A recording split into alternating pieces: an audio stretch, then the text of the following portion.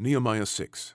Now it came to pass when Sanballat and Tobiah and Geshem the Arabian and the rest of our enemies heard that I had builded the wall, and that there was no breach left therein, though at the time I had not set up the doors upon the gates, that Sanballat and Geshem sent unto me, saying, Come, let us meet together in some one of the villages in the plain of Ono.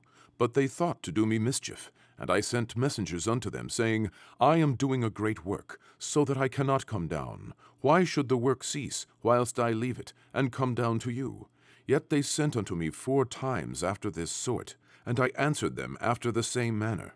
Then sent Sanballat his servant unto me in like manner the fifth time, with an open letter in his hand, wherein was written, It is reported among the heathen, and Gashmu saith it, that thou and the Jews think to rebel, for which cause thou buildest the wall, that thou mayest be their king, according to these words. And thou hast also appointed prophets to preach of thee at Jerusalem, saying, There is a king in Judah. And now shall it be reported to the king according to these words. Come now, therefore, and let us take counsel together. Then I sent unto him, saying, There are no such things done as thou sayest, but thou feignest them out of thine own heart, for they all made us afraid, saying, Their hands shall be weakened from the work, that it be not done. Now therefore, O God, strengthen my hands. Afterward I came unto the house of Shemaiah, the son of Delaiah, the son of Mehetabeel, who was shut up.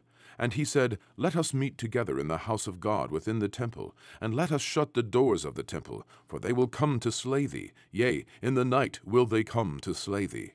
And I said, Should such a man as I flee?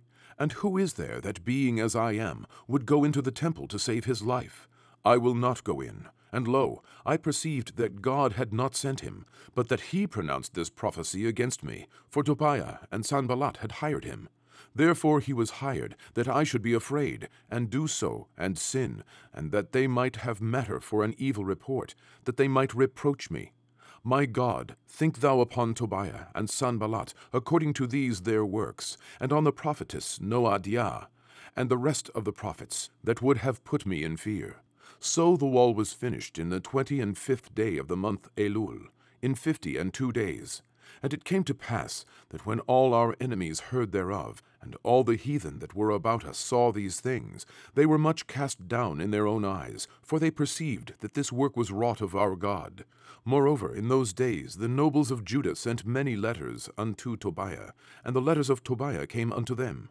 For there were many in Judah sworn unto him, because he was the son-in-law of Shechaniah, the son of Arah, and his son Johanan had taken the daughter of Meshullam, the son of Berechiah.